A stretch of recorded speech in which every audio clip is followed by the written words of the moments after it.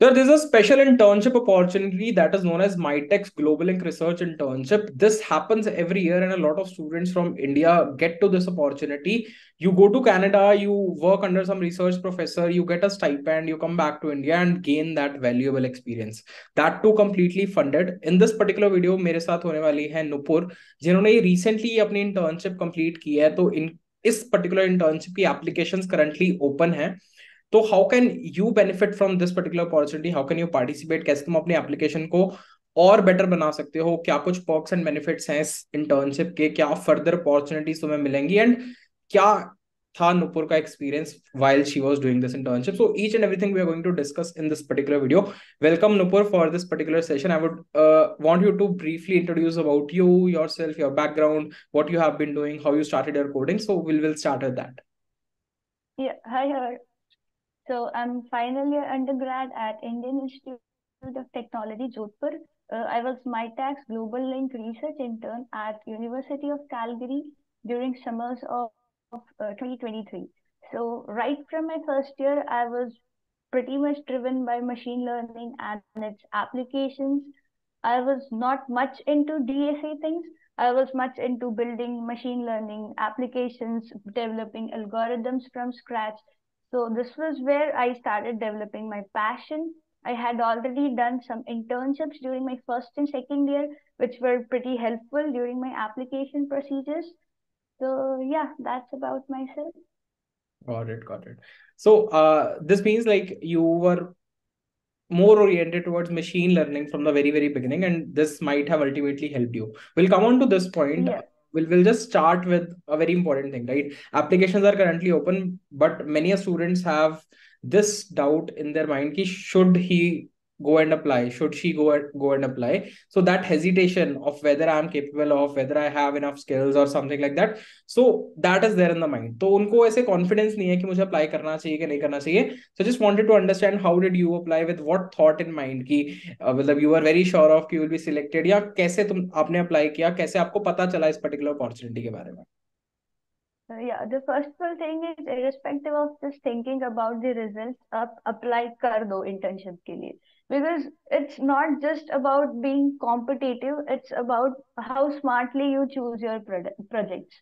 Mm-hmm. तो मुझे actually इस अपॉर्चुनिटी के बारे में 2022 समर्स में पता चला था I was sure of applying for माईटेक्स uh, but somewhere I was not confident regarding my academic background being from mechanical engineer i was uh, i was quite uncertain how i would be able to compete with people from CSE or ai background because i do work in machine machine learning and its application and it's it's likely to find people from CSE background in, in this domain. So yeah, i was also uncertain but i left all this thing aside and i simply applied for it.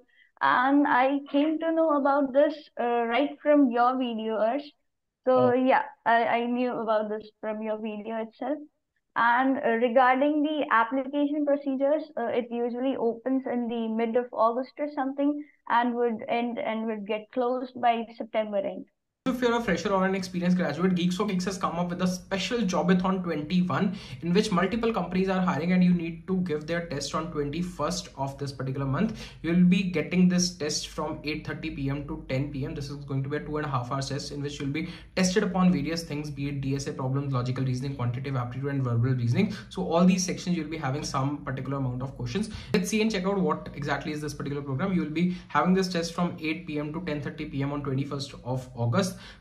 currently five companies are participating in this particular challenge be it uh, isource they're hiring for internships for 20000 per month media.net is hiring for research analysts for 25000 per month rechargekit is hiring for devops engineer system operation engineer hummingbird is hiring for javascript developer and php developer. Most of them are for freshers and with zero to three years of experience so make sure if, if you fall in this particular range you should apply. And the test pattern is going to be three dsa problems 100 marks five mcqs on programming logic 25 marks five mcqs on logical reasoning 25 marks and five mcqs on quantitative aptitude 25 marks so this is the current breakup. Make sure you do check this out and apply for jobathon 2021 if you're looking out for such amazing opportunities.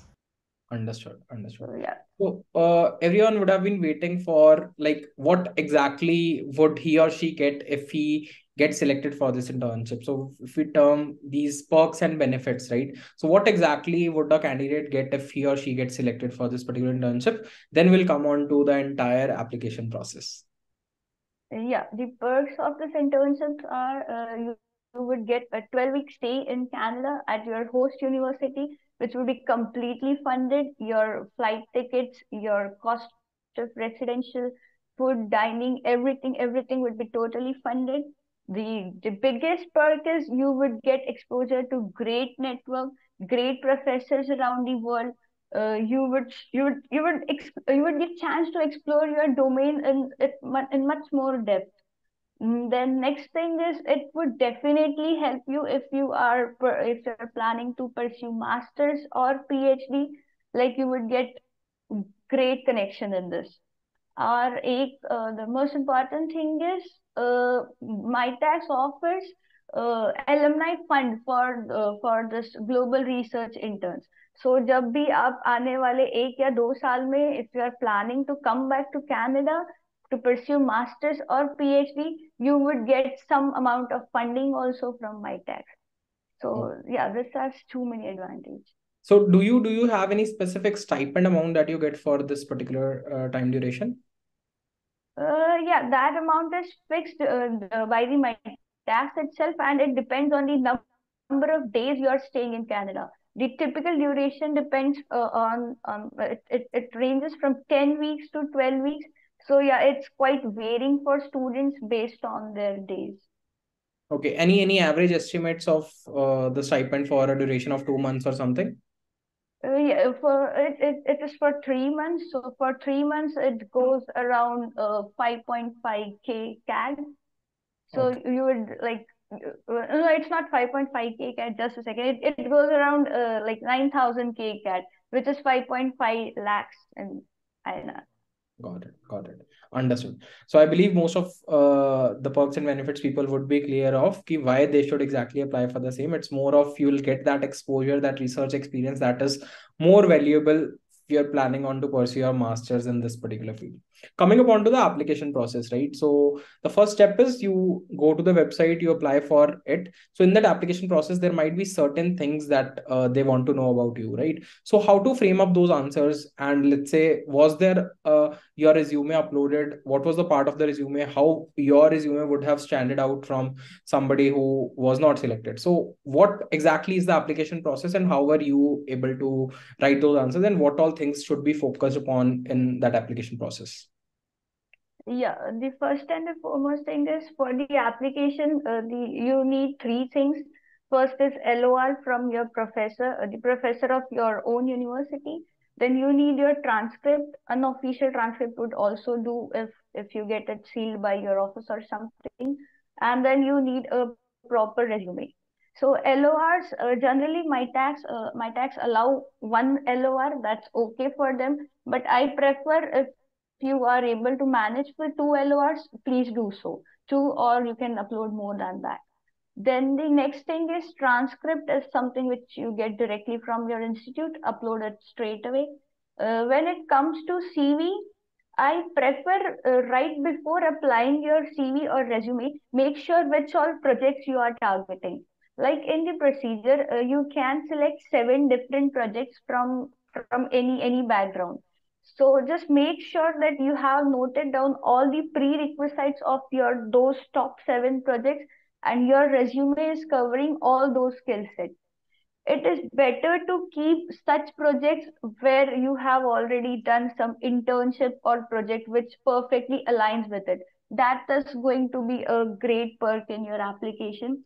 Even one of my project and some of my internships have helped me a lot in through this all, all the screening procedure so rather than simply going with the topic of your own interest try to stick to a topic where you have already performed well where your uh, past where your resume shows some past projects Got so it. yeah and the thing is you can apply for seven different projects at least you have to apply for three project uh, at least you have to apply for three projects from three different provinces so you cannot do like that. You have applied all the seven projects right from the same university.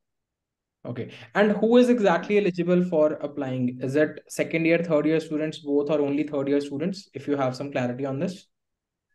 Uh, yeah, the thing is, if you have one or three semesters left after coming back from the internship, then you are eligible to apply for the my for Mitacs.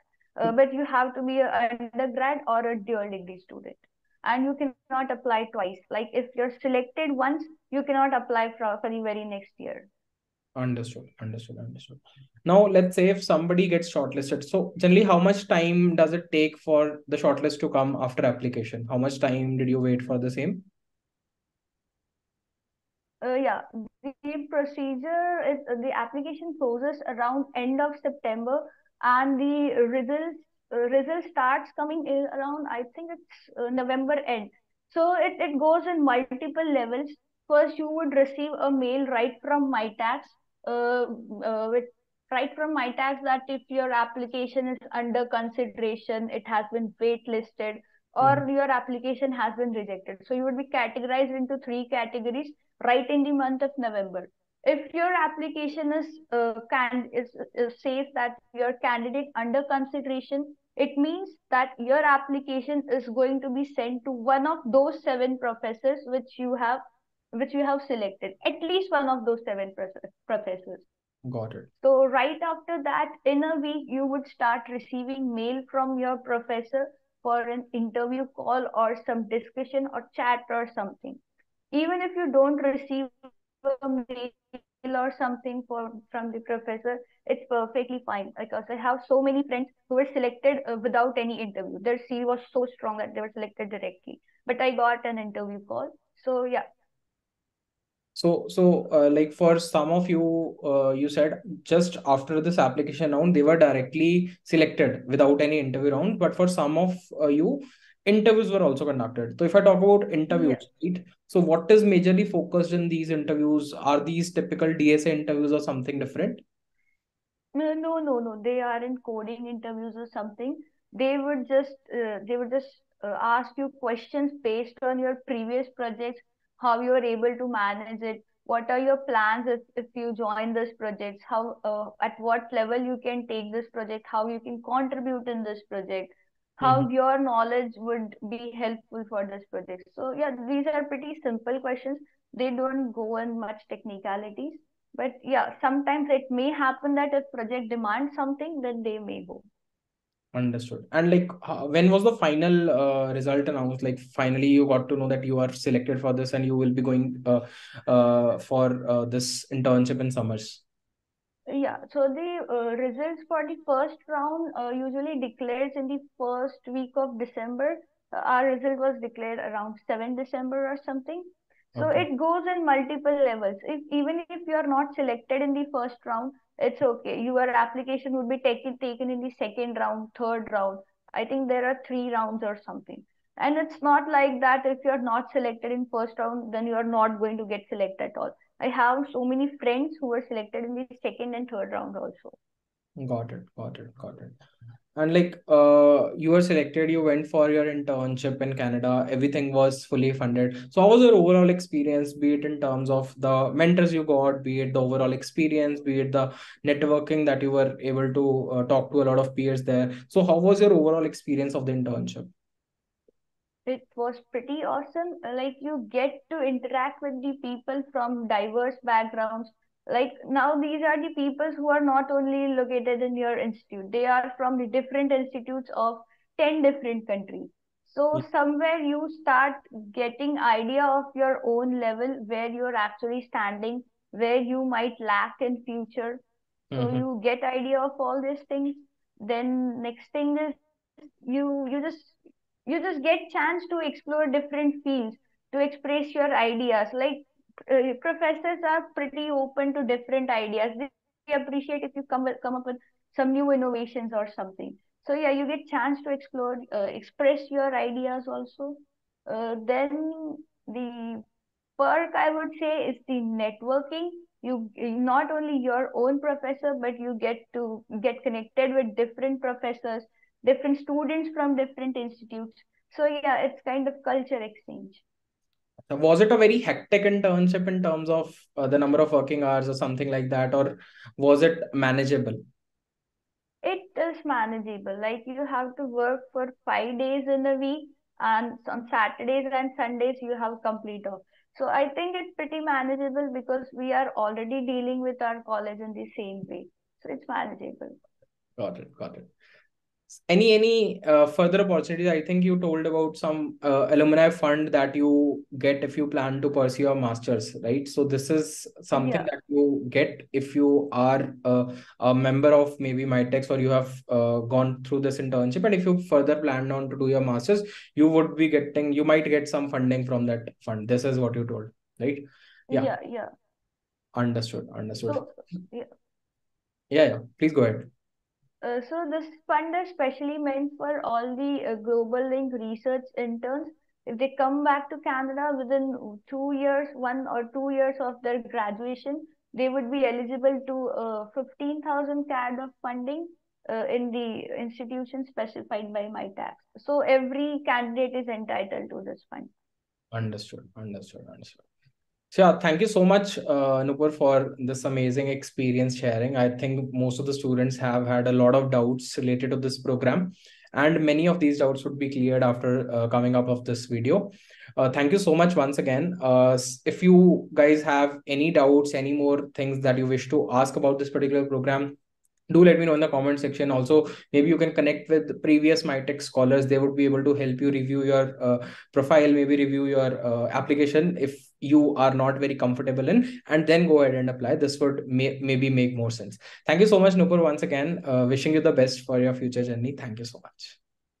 Thank you so much